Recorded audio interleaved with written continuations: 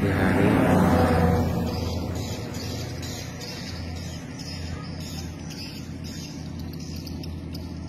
SP insya Allah